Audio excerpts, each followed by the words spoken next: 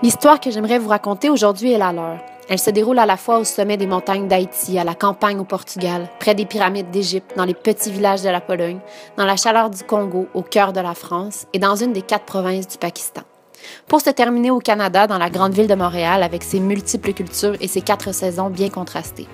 L'histoire que j'aimerais vous raconter porte aussi sur deux transitions importantes. La transition entre deux pays qui représentent l'immigration et le voyage identitaire qui représente l'adolescence en tant que transition entre le monde de l'enfance et le monde adulte. Mais surtout, cette histoire que j'aimerais vous raconter en est une de résilience, ce mouvement épatant de rebond et de croissance après l'épreuve c'est que dans le cadre de mon projet de recherche, je collecte les récits d'adolescents qui ont récemment vécu une expérience d'immigration. Voici ce que je leur propose lorsque je les rencontre. Imagine ton histoire d'immigration comme un livre, divise-la en chapitres et élabore sur chacun de ces chapitres. Ces histoires qui me sont alors généreusement racontées sont remplies d'embûches. C'est que les défis liés à l'immigration sont nombreux. Les histoires d'immigration sont de plus en plus complexes, surtout lors de l'adolescence, période de défis au plan du développement et de l'identité.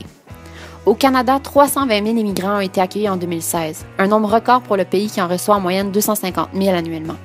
Les adolescents de ma recherche ont été recrutés à Montréal, ville où plus de 50% des élèves du secondaire sont issus de l'immigration récente. Seule une petite proportion de ces jeunes va développer des difficultés psychologiques en lien avec leur expérience d'immigration, et ces parcours-là ont été largement étudiés.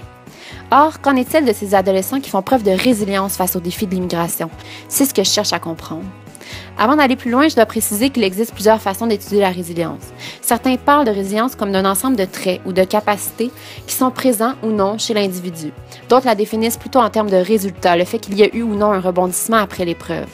Il existe aussi une troisième façon de définir la résilience, c'est de la considérer comme un processus constant d'interaction entre l'individu et son environnement.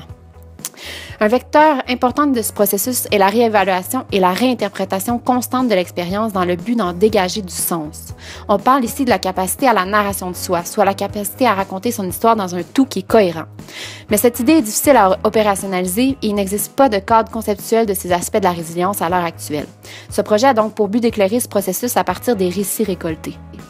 J'analyse actuellement la forme, la cohérence et le contenu de ces récits. Malgré le fait que les jeunes qui ont participé à cette recherche proviennent des quatre coins du monde, je me suis vite rendu compte de nombreuses similitudes dans leurs histoires.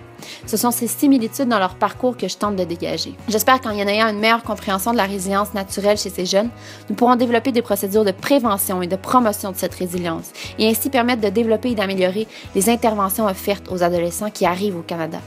J'en suis encore aux premières étapes de l'analyse, mais s'il y a une chose dont je suis certaine jusqu'à maintenant, c'est qu'il y a chez ces jeunes un réel désir de parole, une réelle envie de se raconter et d'être entendus. Ce sont eux les conteurs de cette histoire, et pour cela, je tiens à leur dire merci.